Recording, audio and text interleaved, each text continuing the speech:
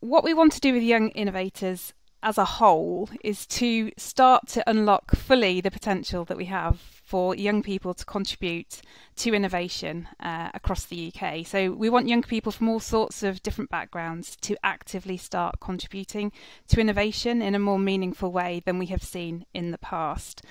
Uh, we know that there are barriers to people getting involved in innovation.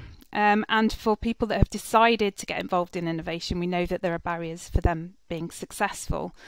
Um, gender, ethnic background, whether or not a person is disabled, these things matter, and so does an education background, socioeconomic background, and actually where you live in the UK also has a, a, part to play.